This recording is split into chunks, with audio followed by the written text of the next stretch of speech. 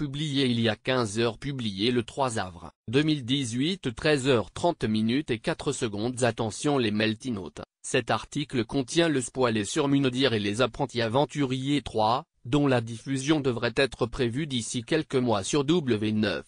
Alors qu'on vous dévoilait il y a quelques jours le nom des deux équipes finalistes de Munedir et les apprentis aventuriers 3, nos confrères de public viennent de révéler l'identité des gagnants de la saison. D'après leurs informations exclusives, Julien Berthe et Mia Jasmine auraient remporté l'aventure face à Hilary et Sébastien, la candidate des princes et princesses de l'amour étant revenue tenter sa chance cette saison.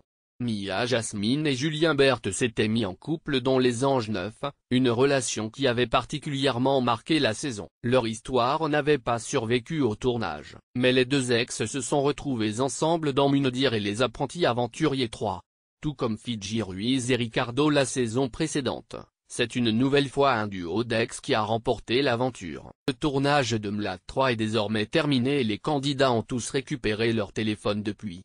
D'ailleurs, on vous dévoile ici que Nicolas Lozina et Melanite sont très proches depuis le tournage de Munodir et les apprentis aventuriers. 3. Source, public, crédit, Snapchat Mia Jasmine, W9 Un commentaire très HSIC est vrai, c'est nul de le dire, plus de suspens Toujours plus de news sur melty.fr qui sommes-nous se nous contacter nous suivre annoncer conditions d'utilisation info légales version mobile certification ACPM Choco Melty Virgin Radio